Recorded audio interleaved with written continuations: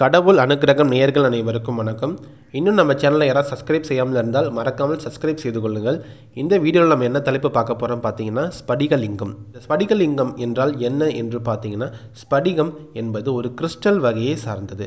இந்த ஸ்படிகத்தினால் செய்யப்படும் லிங்கமே ஸ்படிகலிங்கம் என்று அழைக்கப்படுகிறது.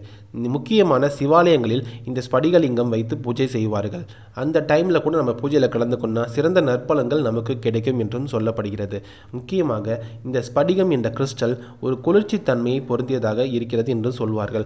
அதனால் வந்து பார்த்தீங்கன்னா இந்த ஸ்படிகத்தினால் செய்யப்படும் ஒரு மாலை கூட வந்து பார்த்தீங்கன்னா நிறைய நபர்கள் கழுத்தில் அணிவது உண்டு. ஏனால் இந்த உடம்பில் இருக்கும் நம்ம சூடுத்தன்மையை அதிகப்படுத்தாமல் நம்ம சமநிலையில் வைத்திருக்கும் என்றும் சொல்லப்படுகிறது. அதனால் இதை மாலையாகவும் செய்து கழுத்தில் அணிந்திருக்கும் வழக்கமும் இருக்கிறது.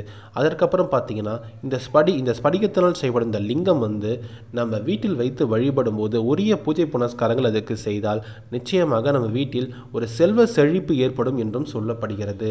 அது மட்டும் கிடையாது நம் வீட்டில் உள்ள அனைவருக்கும் இந்த உடல் ஆரோக்கியம் என்பதும் ஏற்படுகிறது வீட்டில் வைத்து நம்ம பூஜை செய்யும் பொழுது நம் வீட்டில் ஒரு பாசிட்டிவான வைப்ரேஷன்ஸ் இருக்கும் என்றும் சொல்லப்படுகிறது.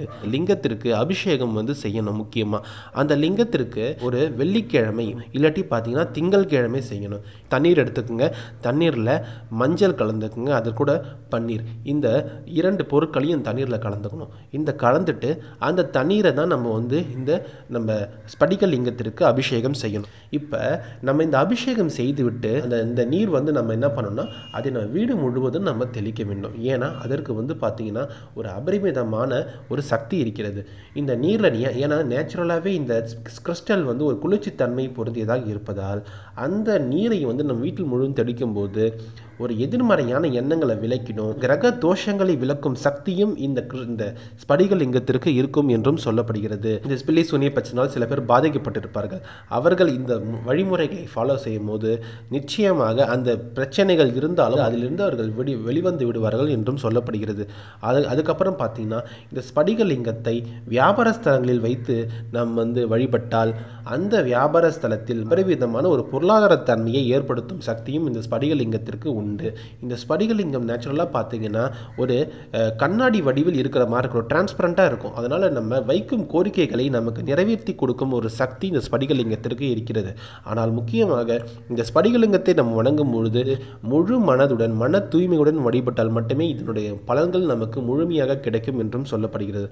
ஆதிசங்கரர் ஐந்து ஸ்படிகலிங்கங்களை வந்து பார்த்தீங்கன்னா ஐந்து கோயில்கள் பிரதிஷ்டை செய்து வைத்திருக்கிறார். அவை முக்தி ஸ்படிகலிங்கம் வர்ற ஸ்படிகலிங்கம் மோட்ச ஸ்படிகலிங்கம் போக ஸ்படிகலிங்கம் மற்றும் யோக ஸ்படிகலிங்கம் இது மாதிரி இன்னும் நிறைய விஷயங்கள் இந்த ஸ்படிகலிங்கத்தை பற்றி- பற்றி நாம் சொல்லிக்கொண்டே போகலாம். முக்கியமாக நாம் வீட்டில் வைத்து வழிபட்டாலும் சரி நாம் செய்யும் தொழில் ஸ்தாபனத்தில் வழி வச்சு வழிபட்டாலும் சரி ஒரு அபரிவிதமான செல்வ செழிப்பை ஏற்படுத்தும் ஒரு தன்மையுடையது இந்த ஸ்படிகலிங்கம் அதற்கப்புறம் நாம் நமக்கு இருக்கும் நோய் நொடிகளை அதனை விளக்கும் ஒரு அபார ஒரு சக்தியும் இந்த ஸ்படிகலிங்கத்திற்கு ஒரு இயற்கையாகவே உண்டு என்பதையும் இதன் மூலம் நாம் தெரிந்து கொள்ள முடிகிறது.